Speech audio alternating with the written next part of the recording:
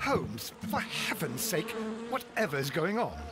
Oh, hello, Watson. You're early. Did you kill all of your patients? What? Holmes, where have all these wretched bees come from? I increased the temperature of the room so as to prevent them from hibernating. I needed to take a sample of honey. But it worked, Watson. We will have honey all year round. Ridiculous and dangerous. They're domestic bees, Apis mellifera, such industrious workers. Anyway, Watson, I am sorry, but I must leave you. I'm in rather a hurry. You have a new case?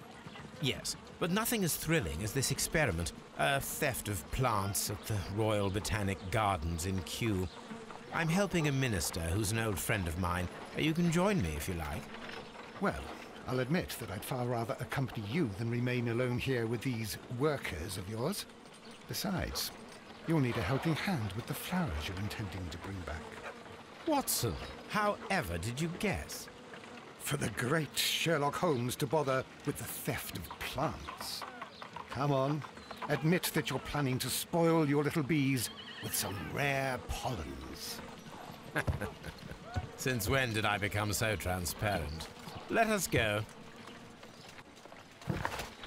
So it's time to time to start solving a new case, and this case is the Kew Gardens Oh, drama. dear, Welcome, my wasn't aware that friends, you were Watson's new and. I hope you enjoy this case.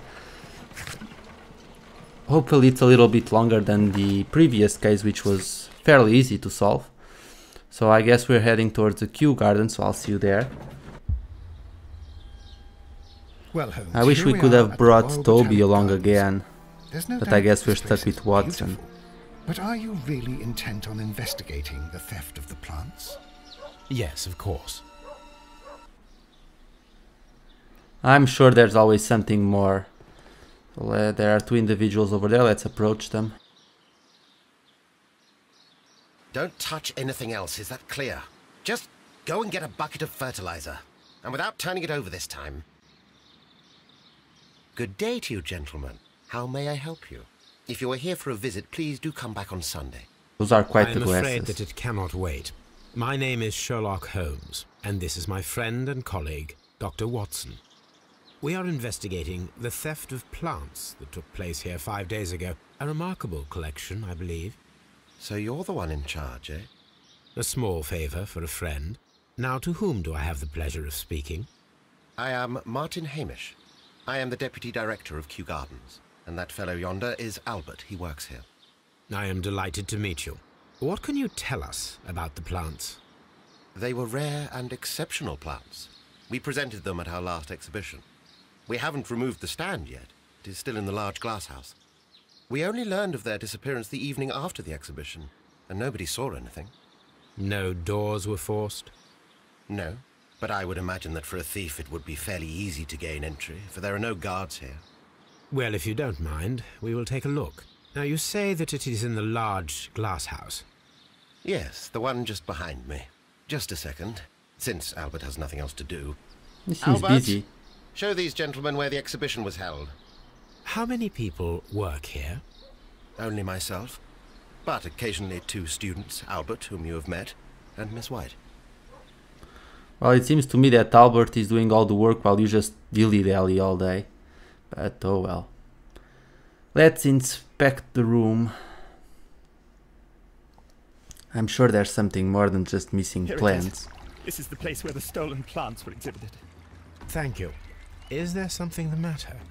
Yes, there is. All right, the plants were valuable and rare, but it seems to me that the tragedy that took place here only two days ago has been entirely forgotten already. What tragedy are you referring to? My. the director of Kew Gardens, Mr. Montague Dunn, he died here just two days ago. We're very sorry. We were not aware. The two of you were good friends? He. he was my father. Oh boy. Oh dear. Our condolences. We should not be troubling you. Please do excuse us for the intrusion. You say that he died here, in the large glass house. Holmes? Yes, just here, near the door to the colonial collection. He suffered a heart attack. Just like that. So suddenly. It was terrible. Excuse me, gentlemen, but I cannot remain here. If you need me, I'll be in the reserve. That's the room next to the front of the large greenhouse. Of course, we understand. Yeah, I'm sure we'll be visiting you soon. So let's start inspecting. The plants were here. All of them were stolen. I told you there had to be something more than just missing plants. Here is a list of the stolen plants. So that's a clue.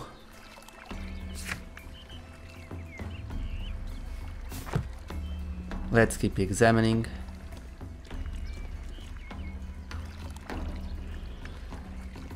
Ah, it's quite a uh, quite a nice little uh, pond.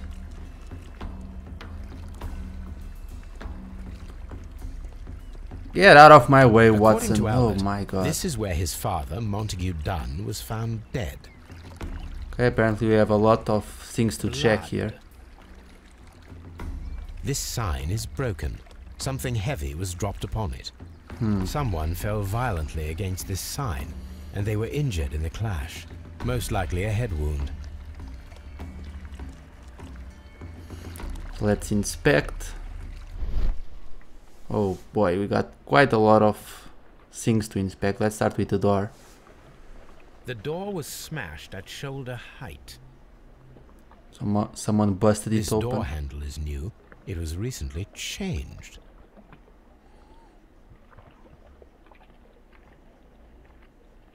The escutcheon was breached near the handle. Yeah, that certainly means that the door was someone knocked open the, the door. inside of the colonial collection room. The handle was changed afterwards. I think we need to inspect the colonial collection room. You don't say. The traces are thinner in some places.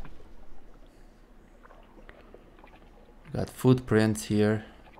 Guess I need to be out of special view mode in order to be These able to check them out.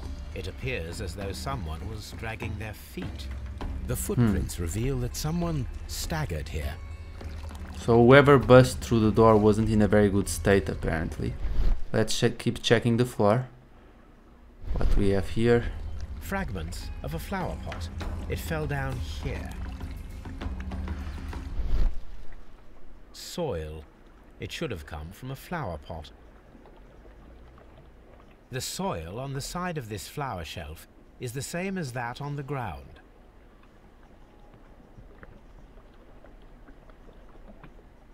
This pot was broken fairly recently. A flower pot recently fell down from these shelves and was misplaced. All the clues around here are quite suspicious. I need my imagination to make sense of it all. Hmm, so we'll use our special imagination to see. Okay, we got to mark down the correct sequence of events. So first he opened the door, then he knocked over the pot and then he fell. So let's try and do this. There we go. That's the correct sequence, but let's watch the sequence again to confirm. Opens the door, knocks down the, the vase, and falls. This reconstruction reveals a disturbing fact. Montague Dunn damaged the door of the Colonial Collection Room. He was in a panic, or the door was locked. Was it an accident, or a murder then, I wonder? Seems to me like a think murder. we need to inspect the colonial collection room. Yeah, you already said that, man. We're going to check it in a minute. First, let's see if there aren't any. Yep, These there's a clue. trees with their roots in water must originate from Louisiana. Oh boy, they came from far away then. I remember our visit in the case of the Awakened. Stop moonwalking. Okay, let's check this room now. According to this, they have light and moisture control in some parts of the building. Hmm, quite advanced for the time.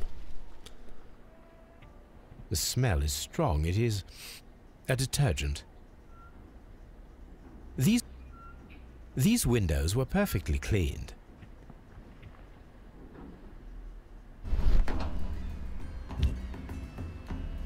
This broken fragment was the result of a heavy blow. A fragment of marble, most likely chipped from a statue or sculpture. Part of this greenhouse was emptied and thoroughly cleaned. In order to remove any is one of the evidence potentially. Ventilation system. Okay, well. We need to search our archives apparently later on. Uh, but we'll leave that for later. Apparently we can make a deduction here. I'm just going to inspect the other side. These plants come from all the territories of the British Empire. Okay. So, em- emptied colonial collection, and we can associate that with the fact that Mr. Dunn was trapped and that he busted through the door and died in the water lily greenhouse. This gives us a clue. Oh, we need to perform an autopsy. So that's our next destination. I guess we're going to head towards Scotland Yard to perform the autopsy. So I'll see you there. I asked Inspector Lestrade to take Montague Dunn's body to Scotland Yard. It's ready for autopsy then. Okay, so let's check uh, to see his belongings first of all. Here's our his Putin apparently is still being uh, wanted, uh, but we're going to check out uh, the victim's belongings and then we'll head towards the morgue to do an autopsy.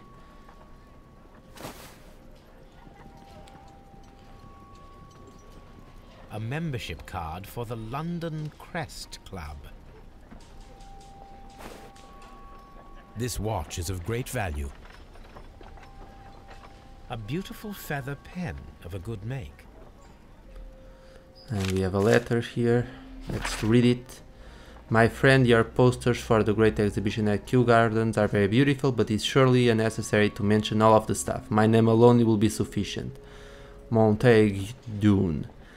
Well, he wanted to take all the glory for himself, so that gives all the other workers plenty of reasons to kill him. Wouldn't be surprised if it's the glass, the other glasses dude that we, the dude with glasses that we talked to when you were we arrived uh, at Kew Gardens the first time.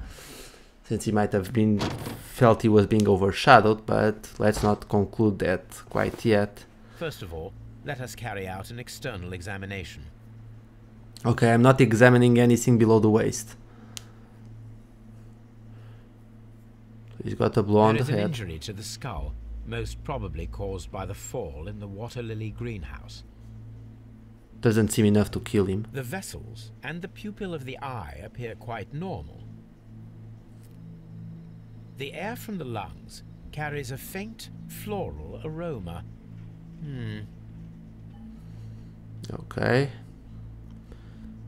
There are no suspicious marks upon the chest.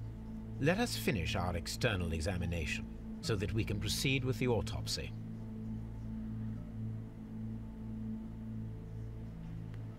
Check the arms. No redness, stings, or bruises. I check the other arm. Nothing suspicious here. Now, let us examine the internal organs. Ah. Whistling really, Watson?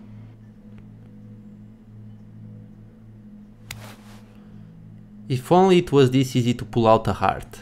The heart's blood vessels show no pathological signs. The heart tissue shows no visible pathological signs.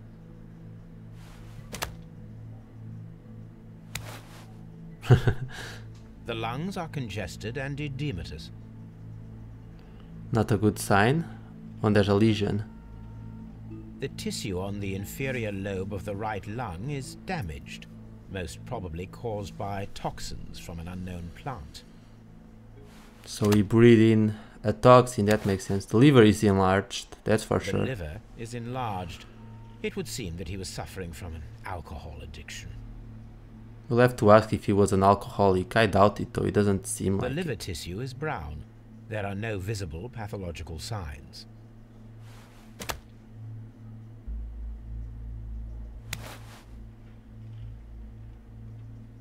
The stomach tissues show no visible pathological signs.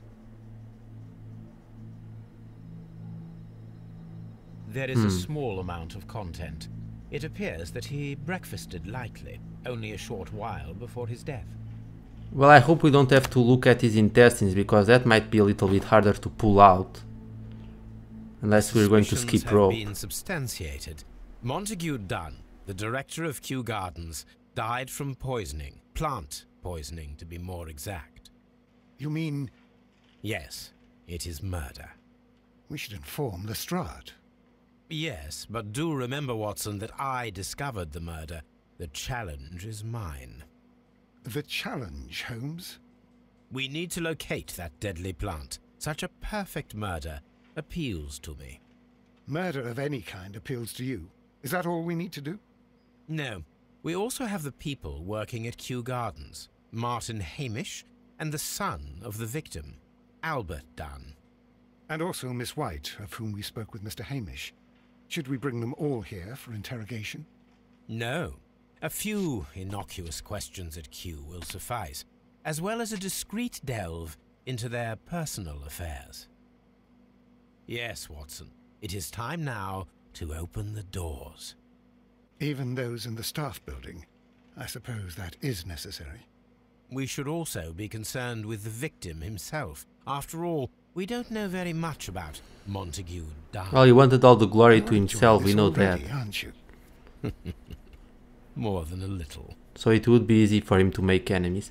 But that's going to do it for this episode. Let's just make this little deduction first. Uh, we can conclude that Montague Dunn was poisoned um, and that he was trapped in the colonial collection room and he tried to force the door open to escape. Uh, but that's all that we can conclude so far. So we're going back to Kew Gardens and see if you can we can get uh, a little bit more information and interrogate our suspects. So thank you so much for watching my friends and I will see you all later for the next segment. Take care.